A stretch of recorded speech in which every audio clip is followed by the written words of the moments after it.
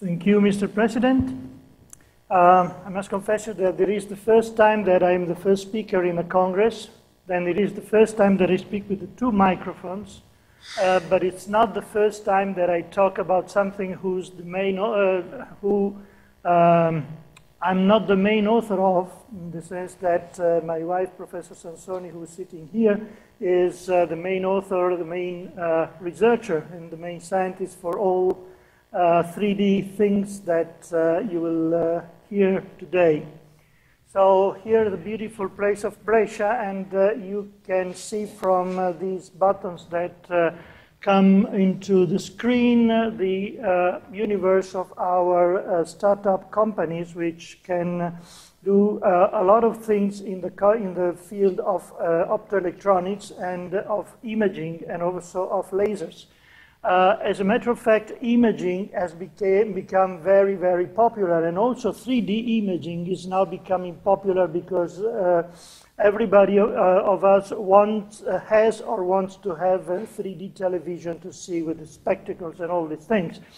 But uh, we have been in the business of 3D uh, imaging in the sense of acquiring imaging with particular instrumentation since 1990, and I was still in the concerted action when the first uh, trials with 3D imaging was.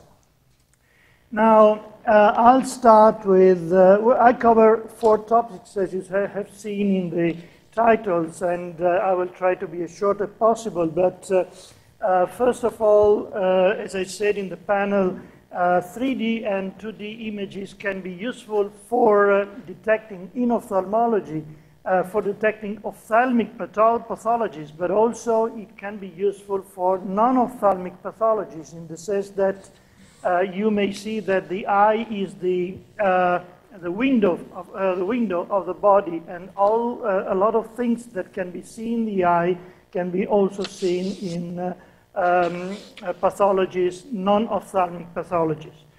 Uh, now, uh, I will start with what uh, you uh, or most of you know or have experienced at the doctor, which is the optical coherence tomography. Optical coherence tomography is a technique that, uh, an imaging technique or a 3D imaging technique, which, which is based on interferometry, on low coherence interferometry.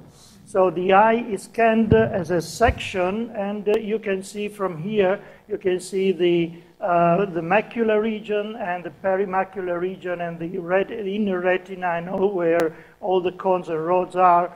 Uh, the point is that so far there are a lot of very sophisticated instruments, but most of them do not give uh, quantitative information, but only qualitative or semi-quantitative information. So uh, all the computer-generated information is uh, uh, a help to the doctor, but not uh, as, a, as powerful as a help for the doctor as it should be. And also the 3D uh, rendering to see the uh, macular region in the green that you can see in the center of the area is not a real quantitative information. Uh, only the retinal, uh, retinal, thickness is considered to be uh, semi-quantitative, but what we really did want to see is uh, if, what, if, what, if, it was possible to make a metrological, we are so to say metrologists, metrological approach to equip the instrument with software tools for the quantitative analysis of pathologies can be analyzed only in a qualitative way. And we applied this to, together with our friends uh, in ophthalmology clinics uh, around Italy with uh, cases of macular holes or diabetic macular edemas or macular puckers uh, to quantitatively uh, make measurements of the dimension of these holes and possibly to make follow-ups of patients in their life. Um, so we um, built some software which can be useful to quantify and to use the normal uh, um, uh, image elaboration techniques which are very common in industry to apply them to the biomedical field. So uh, I don't think, I don't know if this will work for as a uh, animation. Probably yes. Doesn't? Doesn't seem to. Anyway, uh, I, I was betting that in, the, in, the, in going from, oh yes, it's, uh, it's going. So uh, what uh, this uh, elaboration does, uh, what this animation does is that uh, in our software you can elaborate frames and you can see um, a follow-up of, a patient from one time, one period of life to another visit, and you can see how uh, the, um, the puckers are uh, evolving from one uh, time to the other, and uh, here you, can, you have the elaboration of the of the image, you can select different areas and you can see how the different areas evolve the, with time. So uh, this is one way to acti acti uh, practically quantify the information and uh, to make a real follow-up of the patient with OCT, which is not at the time, uh, by the time being not um, easily done with commercial instruments. we evaluated with this software three groups of patients, four patients with macular edema, eight patients with macular pucker, seven patients with macular diabetic macular edema, and uh, we made a complete follow-up of the patients, and uh, we made a comparison of uh, the elaborations uh, to um, verify their um, uh, their, draw, uh, their advancement with or without treatment with um, in uh, uh, a quantitative way. So, uh, well, the experimental results with, is with, are here summarized with the macular pucker, and you can see that pre-treatment, sorry for the Italian, uh, you can you uh, had a total area of the holes of the pucker uh, which were which were very um, uh, large, and uh, the treatment would have uh, reduced the, the dimension of the holes in the patients. And the, the same thing has been done with the diabetic macular edema and with the macular holes, so with a particular uh, emphasis to the reduction of the macular holes. So this uh, showed, uh, at least demonstrated to our uh, colleagues uh, in the ophthalmology clinics that uh, this seems work, that this approach works. So we could summarize that quantitative image elaboration plus image metrology, and metrology means that to make measurements on the uh, holes and on the morphology of the eyes allows the improvement of the diagnostic ability of ophthalmic instruments. So this first case is a case concerning uh, and um, the use of, a, of, an instrument to monitor an ophthalmic disease. Uh, the second case is the use of this of instruments like this to monitor non-optical, non or non-mainly ophthalmic diseases. That is the evaluation of retinal arteries as a predictor of hypertension and to predict uh, early structural alteration in, in hypertensive patients. And that is a partnership with the Second Medicine and Ophthalmic Clinic in Brescia. Uh, just as a background, uh, here you have an artery. Uh, this is a cerebral artery, and uh, you have the wall and you have the uh, um, region, the lumen, where the blood flows. And it seems that in hypertensive, hypertensive uh, patients this uh, ratio from the, uh, of the lumen to, uh, divided by the whole diameter uh, is altered, and this is a marker of the sufferance and uh, is related to time to hypertension and all these things. Now, so far, our partners of the medical clinic used to quantify this effect just by, by taking um, taking samples of the artery, the small arteries from the back. So uh, it was not non-invasive, it was definitely invasive. So uh, the patient should be, has to be operated and incised, and uh, the small arteries has to be, had to be seen at the microscope. and they came to us asking why can't, you, can we, can't we try to uh, see if uh, looking at the small arteries in the eye could help, uh, could uh, give us the same results. And uh, so we did it uh, like this. here there is a, an instrument which I think our friends at IBILI already know. This is the Heidelberg retinal flow meter that measures the flow of blood in uh, the optical, uh, in the retina. And uh, this is, un unfortunately, this is no longer in production. This is expensive. And um, it combines fundus camera to Doppler flow imaging to visualize in the diameter of the arteries. So we tried with these uh, um, according to a study which has been in, uh, made in Heidelberg itself by a co-worker. And um, this is what our startup uh, Nirox, uh, uh, which is specialized in biomedical systems, has made for us. Uh, these are the images of uh, the small arteries of the retina. Uh, this is the reflection image from with the instrument seen as a fundus camera, and this is the the, flow, the um, Doppler signal that is, uh, uh, with this you can see the outer wall, and with this you can see the inner wall. By difference, you can see the wall diameter, wall thickness, and by dividing the wall thickness to the uh, overall diameter, you can see the wall to lumen ratio. And uh, so this has been quantified, and uh, we made a, number of steps of uh, experiments to, to correlate in the same patients the arteries taken by their, from their back to the arteries as seen in their fundus, and uh, we came out to a good correlation between uh, the two cases, and uh, we, we could see a clear uh, dependence of uh, these uh, parameters, this behavior in the normal and in the hypertensive subjects.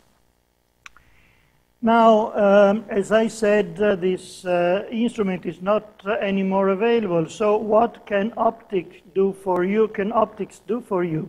Um, now, uh, the new generation of uh, um, fundus cameras are fundus cameras correlated to, uh, with adaptive optics, so with active optics, which can go back and forth, and it is an asymmetric optic to non-aspheric optic to uh, increase the quality of the image. Whereas in a fundus camera, you wouldn't see absolutely this kind of information, this kind of walls here.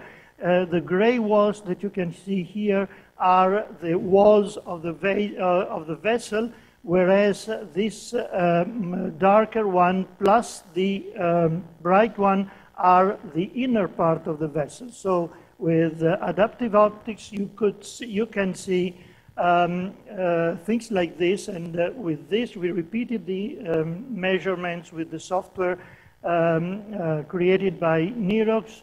We uh, could see and could uh, uh, make the correl same correlation that you have seen um, before. So if you think that adaptive optics can be also, it is also sold as a retrofit a module that can be combined to normal uh, fundus cameras, then you can have uh, a real, uh, really interesting and really powerful tool uh, for uh, cheap diagnostic systems and for systems that can also be brought to the practical, the generic medical doctor to pre-screen uh, patients at risk of hypertension. Um, a brief outlook about uh, imaging in dentistry and orthodontic in partnership with our other startup, uh, Open Technology. Now, uh, here we go to 3D imaging, the real 3D imaging in the sense that uh, now um, we have a number of tools uh, which uh, can be either laser-based, I mean laser scanners, or uh, can be uh, incoherent uh, systems like fringe projector, fringe projection systems to take the 3D image of a tool. Uh, now, um, dentists are now using it uh, quite often to scan either the plaster when they have made uh, the, when they have put the paste on in the mouth of the patient and they uh, scan what comes out and make their models like this in order to, um, to virtually put the capsules and to prepare all the material. But uh, what is important is that uh, the real um, um, picture of the 3D picture of the uh, tooth arcade, I, I, I, don't know if it is the arcade, but uh, is, uh, can also be made in situ uh, just by looking, by going with a small, with a small tool that makes uh, that has intrinsically built a laser or an, uh, an incoherent light source and uh, a camera with triangulation. This is a real benefit of the fact that the cameras now can be as small as these ones. So you can put them virtually everywhere. So uh, our, the group, our friends, uh, uh, Häusler in, in Erlangen, are using, uh, has patented now a system like this to go and scan the, uh, uh, the, the, mouth uh, in order to go to uh, reconstruction of the tooth, modeling of the tooth, and so on. And in particular, uh, the, our startup company has made, has patented this dental tool with a structural light projection, so incoherent projection with accuracy down to 5 microns and uh, repeatability down to, two, down to 2 microns. So this is one of the uh, goals of the, or frontiers of uh, uh structured light projection in 3D uh, images with a scan resolution uh, of 120,000 triangle for a single tooth or 2 million triangles for the entire plaza. Now it is, uh, uh, in, it is in interesting how uh, in Italy at least there are 20 manufacturers of these kinds of uh, instruments for, the, uh, for dentists and all the scanners for all the 20 instruments but one are made by this company. So that can be one of the issue about the utility of making a startup company that can, that can find a real uh, niche of the market where to put its um, uh, system. Uh, the other uh, top, uh, the other key topic of uh, the, my lecture is imaging in prosthetic technology with the application to maxillofacial prosthesis and for reverse engineering. As we said, 3D imaging is not only useful because you can see things on television, on 3D television. Uh, this is the last of the problems. Um, or you can put it in virtual reality. So what we need is a real object out of what we achieve, what we acquire. So what, this is what industrial uh, people call reverse engineering or revenge. So um, maxillofacial um, prosthetics is uh, hard tough in the sense that post-oncological reconstruction deals with post-oncological uh, reconstruction of maxillofacial defects. Um, tumors in the face can be very, very nasty in the sense that uh, you can uh, uh, come out without a nose or without an ear, with an ear, without an eye, or with a half face uh, completely devastated. So it's a real psychological and economical problem which derives from the handicap. We uh, have also, the patient has real functionality problem. And in general, the surgical reconstruction is really invasive in the sense that people put the hands in, in the holes and uh, fill it with plasters and with wax, and then uh, the, uh, the, patient is really discomforted. So um, we were uh, contacted, uh, have been contacted by the dentist and by the maxillofacial uh, surgeons in our university and in other university to devise a tool to uh, non-invasively assess this problem. Um, well, this is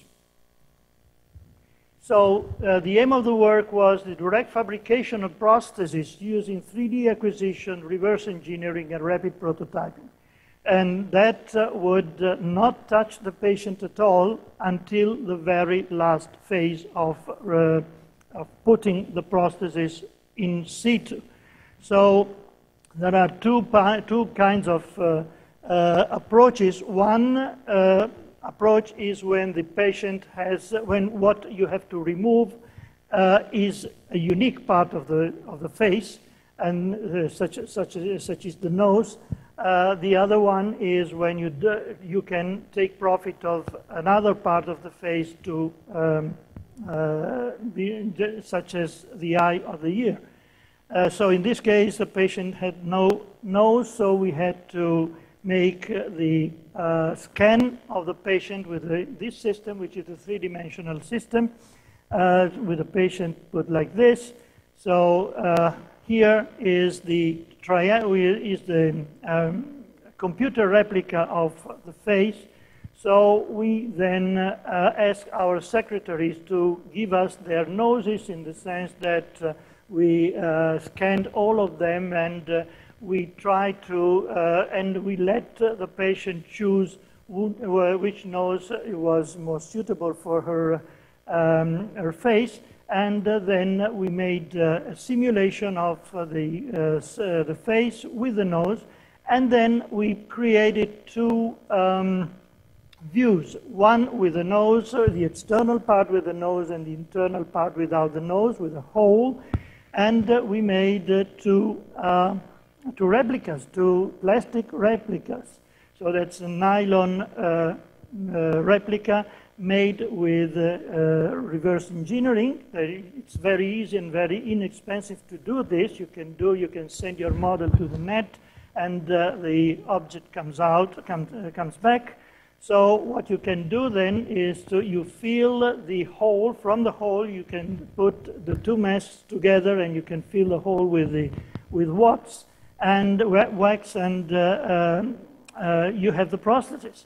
So the prosthesis is not the definite one because you cannot put wax on the face, but then with that thing you can remodel the, the whole thing and you can produce the final, uh, the final solution. So uh, this is the wax in, uh, in place.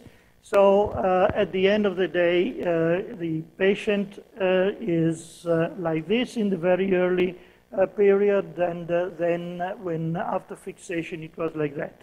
Also, the advantage of this technique is that when you have everything on computer, you can um, uh, you can use the same techniques to remake the prostheses because the prostheses is not uh, uh, it can be deteriorated and it is not it doesn't last forever. So from this point of view, the patient stress was nil uh, the procedure is very fast, uh, the repeatability was very high, and the flexibility also. Uh, the same thing has been done with uh, an ear. So in this case, the guy had uh, um, an ear. it was missing an ear because of some problems when he was very when he was a child. So we just took the right ear and we mirrored it, and we we obtained the left ear. We modeled, we rendered, we also uh, took the uh, uh, shape of the hole and we could then make a prosthesis which could adapt to the hole with the appearance of the of the uh, of the right ears. So uh, the whole thing was really fast. So the patient is now like this, and uh, the cost of the whole thing has been down, down to 70 euros for the whole procedure. So that can answer some of the issue concerning uh, the decrease, uh, the decrease of cost uh, for, uh, um, uh, for health. Uh, also because, at least as I said before, in Italy, the health system does not pay for this kind of procedures, so the patient has not access to um, the public funding. Uh, the last, I think I am quite on time, the last uh, um, part of my talk would be uh, some sort of borderline kind of uh, biomedical application of uh, imaging. Uh, but I mean, this is related to forensic medicine. So forensic medicine is medicine anyway. And uh, so we had been uh, uh, involved in um, forensic science and criminology together with the, the, forensic doctor in Milan, the national police, the Carabinieri in Italy. That is, the aim is large, large scale scene documentation, interior documentation, wounds and scratches, metrology of corpses, and autoptic room acquisition related to crime scene analysis and uh, support to the legal authority or to the, judge in judging about uh, uh, the fact that someone was uh, uh, guilty or innocent. So uh, we collaborate with all these people, and here we are so uh, the crime scene documentation is a first step in criminal investigation and it's very critical because if something is lost or damaged, subsequent steps are compromised. A number of trials have been contaminated by the fact that the crime, scene and crime scenes had not been uh, properly investigated. So uh, after that, you couldn't do anything. anything. So the standard documentation of this crime scene is doing photographically, now we wanted to, um, and is basically bidimensional. So it, if it is bidimensional, you just miss one coordinate, and this one more coordinate could give you some more ideas of what is going on, is going on or has gone on. Uh, so the aim of our work in this case was to assess the feasibility of using the third dimension to increase the information about uh, the uh, crime scenes before the removal of the objects and of the corpse. Um, we have acqui acquired large scenes in order to put cadavers or false cadavers or real cadavers in uh, the proper place and to simulate bullets coming from an office in order to make ballistic studies concerning the possibility that one, uh, one bullet could uh, have come from one or two or, or another direction. So uh, this is our campus, and uh, uh this is uh, uh, my wife's office, and we have, oops, pardon me, so we have put a mannequin here, and with a total station, with a large 3D system, we could reconstruct both the campus and the office uh, in order to see whether uh, the uh, hypothesis that the bullet could have started from the office of my wife uh, could be sustainable. So the, um, to do this, it, it's not uh, peanuts uh, in the sense that you need a couple of instruments at least. One large-scale instrument with low resolution and one a, a small-scale instrument with high resolution to uh, have all the details of the body. So uh, at the end, uh, we could reconstruct the whole scene, and here are three po possible trajectories of bullets, and um, to see how um, the, um, the murder could have taken. So here you can see that from uh, this point of view, from here, uh, there was at least one trajectory where it was not possible to hit the target because there was a wall. So uh, that uh, is just a, a, hint to say that with three dimension you just can infer uh, the possible, uh, the possible um, origin of a murder better than two dimension.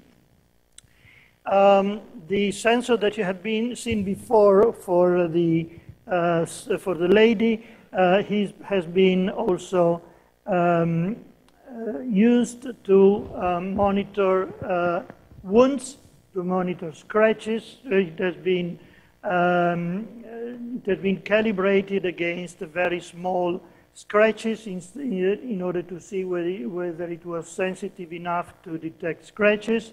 Or uh, um, so here are the scratches that are uh, very uh, very well visible. Uh, then uh, um, uh, we wanted to know if the system could be good enough also to, to make a nice color rendering that is blood plus bones plus um, just to describe in a better way the thorax region in cadavers.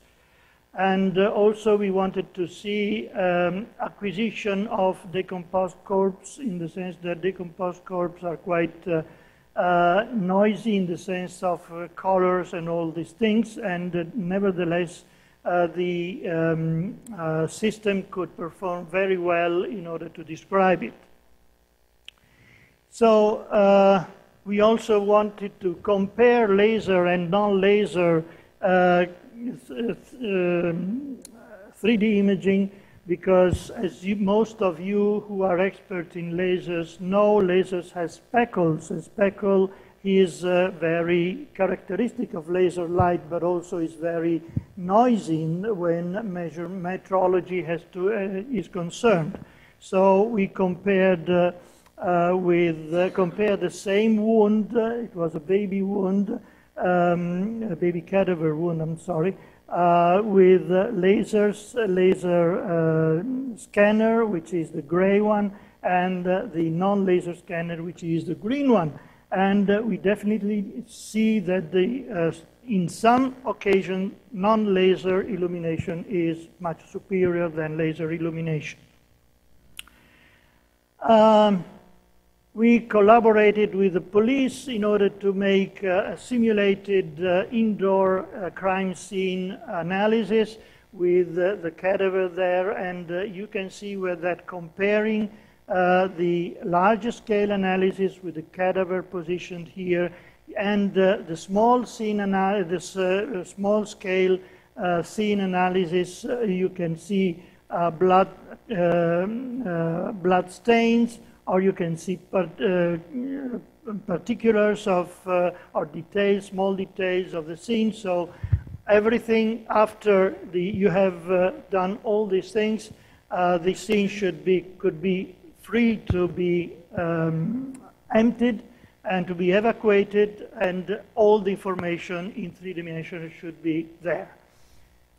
Also, we have done uh, real scene, analysis because we had been uh, um, uh, called for a mafia murder. A skeleton of a mafia, uh, mafia killed The person was discovered.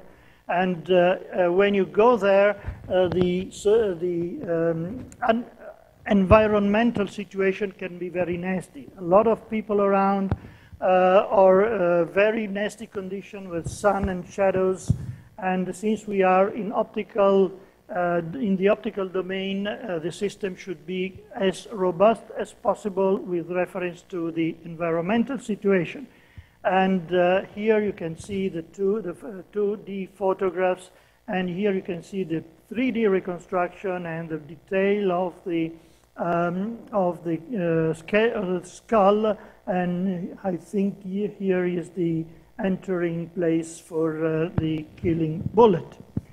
And uh, so, where metrology comes from now, uh, the uh, the lawyers that are uh, they, they are in the in the court cannot uh, um, infer false data from 2D uh, pictures. Now we have all the numbers that can characterize these kinds of findings. Uh, also, we can uh, uh, obtain uh, um, measurements in uh, uh, quite nicely in the case of carbonized bodies. I mean, when people are burned, because we can model carbonized body by suckling carbonized pigs that whose dermis characteristics behave quite well, quite well like humans.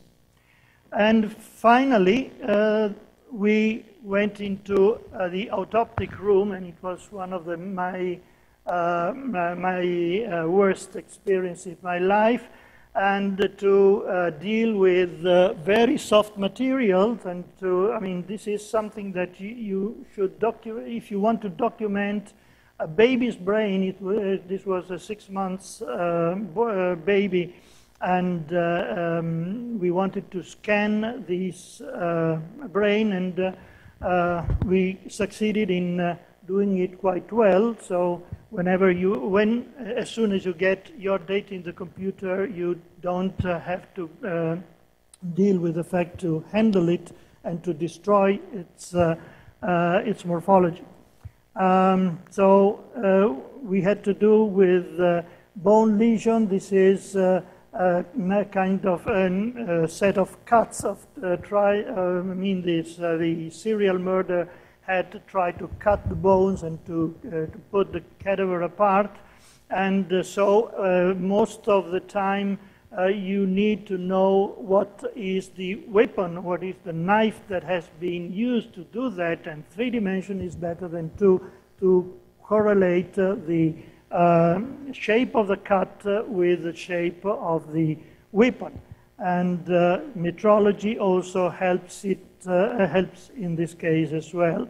This was another murder guy with you can see these signs here, and these signs have been done with the tip of this um, um, bar here and by scanning, by 3, 3D scanning this kind of thing and 3D scanning this uh, arm, you could put them virtually together in uh, the computer and see whether they could fit or not. So that is a good, a good way to assist the judge uh, um, uh, or the court uh, attempted to see where to demonstrate that uh, this guy was real guilty uh, as you can see here. Also for documentation, I mean, this is uh, um, the, an image of uh, a reconstructed uh, skull because it has been found in pieces uh, in, uh, um, below the, the street and it has been patiently reconstructed by the, um, by the forensic med um, medical doctors and uh, the point is that if, if it is stays like this, it is very fragile. I mean, it just breaks it in pieces. So what we have done is we have uh, uh, reproduced it uh, with uh, uh, rendering and then with rapid prototyping for further study and storage.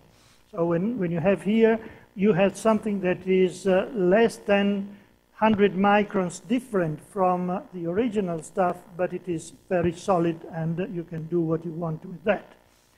So the conclusions are that 3D optical, uh, optical acquisition is feasible for the documentation of crime scenes, wounds, and corpses. The technology is ready now. There are a number of uh, uh, companies that manufactures, manufacture this kind of systems, and uh, some are bought by the police in, in uh, the States or even in Europe. The market is ready, the investigators need it. Uh, the referability of measurements is crucial, measurement, uh, referability to standards, and uh, uh, precise rules but must be specified to avoid the operator manipulation of the models. So, just a final statement what is uh, uh, around the corner. Um, I am pleased to know that in this Congress there are um, at least a couple of presentations about cloud computing. Now, cloud computing or cloud imaging is uh, one of the um, points or the targets of uh, uh, imaging at the moment. Uh, so that images will not store, will not be stored in the personal personal computer or in a server, but they will go somewhere in uh, the um, in the cloud, and uh, uh, information will be accessible by a number of places for deconvolution, for uh, uh, information retrieval, and for all the the situation, the information that would be needed to treat the data in a, in a proper way. So I think I came to the, to the conclusion of my talk, and uh, I um, think uh, on, on, behalf of my wife and uh, myself, I thank you for your attention.